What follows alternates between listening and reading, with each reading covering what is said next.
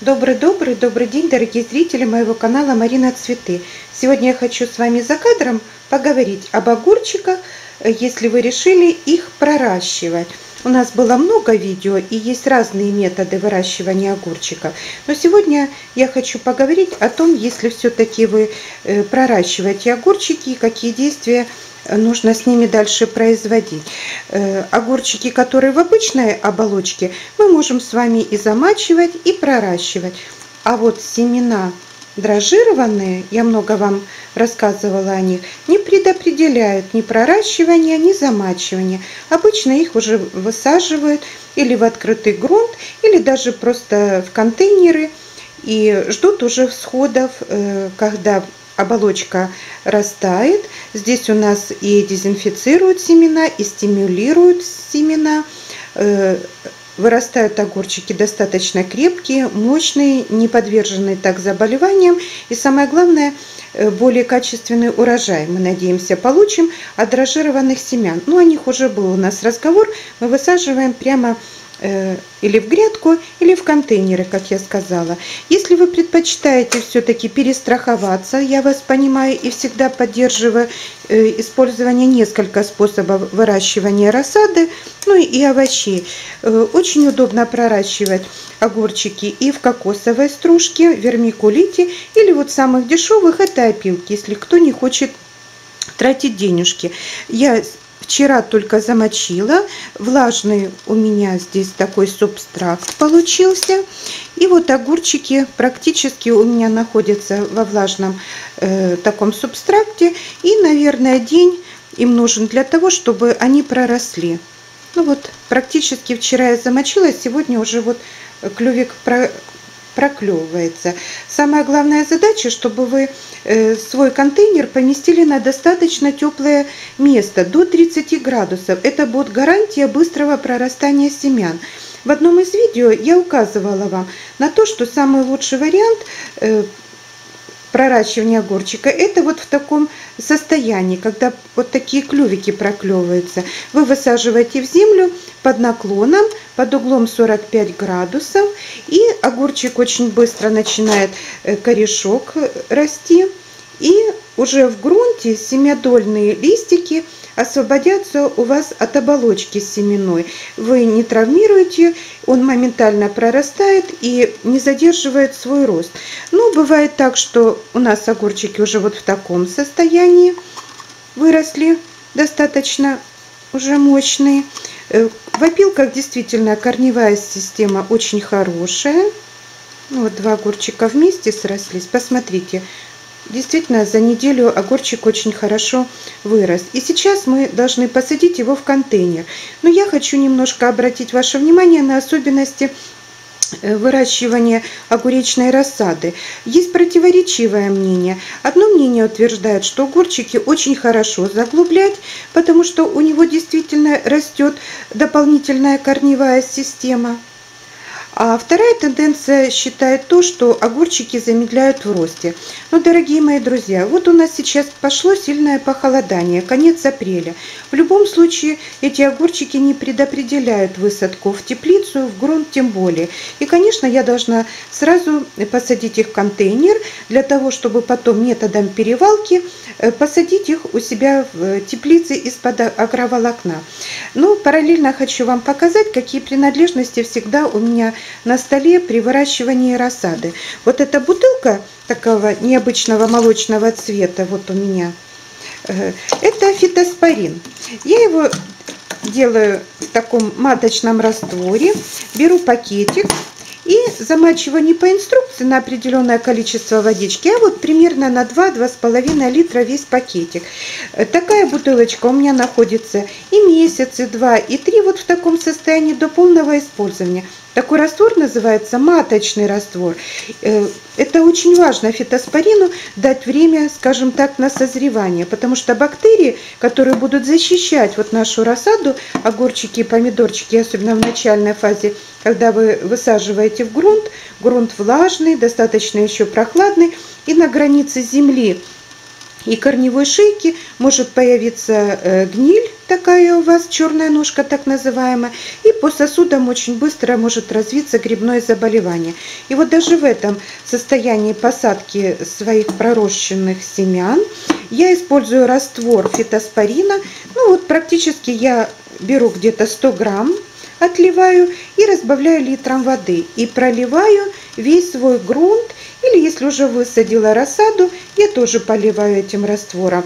В теплице обязательно опрыскиваю помидорчики в начальной фазе, ну, пока мы не начнем органическую обработку и подкормку э, своих э, овощей. Поэтому, пожалуйста, обратите внимание, что при огурчиках и помидорчиках высаживания очень хорошо использовать фитоспорин для профилактики грибковых заболеваний. Дорогие друзья, я вам обязательно советую использовать только пищевые контейнеры для выращивания своей рассады. Стаканчики, которые э, прошли э, контроль, это пищевой пластик. Вот такие из тетрапаков э, детского питания, соков или молочных продуктов. Пожалуйста, обращайте внимание на то, что ваша рассада с первых дней своих жизни должна жить в хороших экологических условиях. Если вы будете выращивать вот такое семя, еще раз хочу вас повторить, пожалуйста, вы берете контейнер свой. У меня в данном случае очень легкая земля. Это лесной грунт, мы его собираем осенью из-под акации, всю зиму он находится у нас в сухом помещении. И вот даже здесь веточки, палочки меня не смущают, потому что э, это ну, такой легкий субстрат. И вот, как я сказала, вот это вот семечко, которая проклюнулась только у вас, мы должны высадить с вами острым носиком вверх под углом 45 градусов. Не засыпайте контейнер полностью землей. Я вам сейчас расскажу ситуацию, с которой э, столкнется огурчик, только вот он прорастет. Итак, острым носиком вверх под углом 45 градусов вы заглубляете и слегка присыпаете землей корешок у вас поднимется вверх, опустится вниз. Очень быстро он начнет прорастать. Вот в такой стадии будет. И э, легко э, вытянет семядольный листик. И другим способом огурчик очень часто не дожидайтесь сходов. У вас семена даже могут загнить в земле. Вы думаете, это плохое качество, а огурчик просто не смог себя освободить именно от семенной оболочки. Это будет очень важно. Еще есть такая методика, называется «все тыквенные семена мы сажаем на ребро». Ну, это практически одно и то же, поэтому очень важно. Не засыпайте полностью грунт, не высаживайте огурчик уже прямо вверху контейнера. Оставьте ему сантиметра 3-4, а то и 5, если у вас такой прозрачный контейнер, как у меня, и будет пробиваться солнце. И огурчик пусть у вас прорастает. Как я вам сказала, пролейте раствором можно любым э, биологически, какой есть в вашей стране. Вот мы проливаем с вами фитоспорином и, в принципе, оставляем проращивать на достаточно еще теплом месте. Это очень важно. А что же делать вот с такими огурчиками, которые действительно имеют очень мощную корневую систему? Посмотрите, предупреждаю вас сразу, радость, которую мы сейчас вот с вами испытываем, она может быть недолговечна, потому что мы посадив наш огурчик в контейнер, сразу вам хочу сказать, огурчик остановит свой рост, потому что именно в такой фазе, ну, выращивать огурчик, он более сильный стресс получает. Я еще больше отсыпаю своей земли достаточно легкой, опускаю огурчик вот так вот засыпаю аккуратно легкой землей. Э, если у вас э, довольно-таки э, хороший грунт на участке, вы можете уже смешать с таким легким грунтом для того, чтобы рассада ваша уже привыкала к грунту, который у вас в теплице или в огороде. Ну, поправляем этот огурчик. И все-таки он у нас получается как бы заглублен в контейнере. И Сейчас разговор идет о том, что подрастая огурчик, укореняясь, мы с вами будем подсыпать доверху землю. Огурчик будет давать дополнительные корни. Это будет питание очень хорошее. Ну, в контейнере обязательно должен быть дренаж у вас, конечно, мы понимаем это все.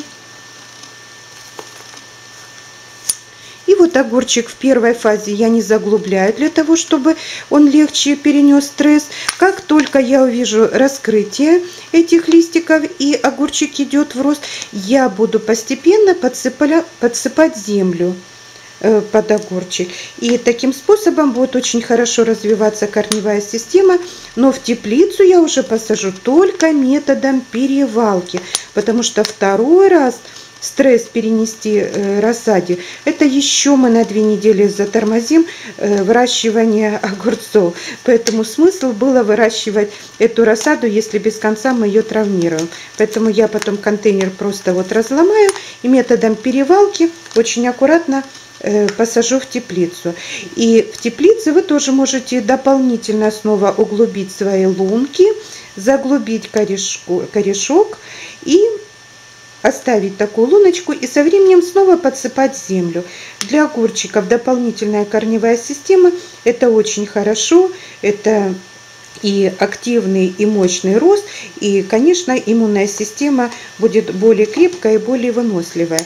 Ну, вот такие вот я вам нюансы рассказала о том, если вы проращиваете семена вот таким вот способом в торфе, в кокосовом волоке, волокне вермикулит или даже просто вот на салфеточках. Такой способ тоже имеет быть. Такими советами, секретами я с вами поделилась, выращивая огурчики. Ну а теперь мы встретимся с вами с теплицей.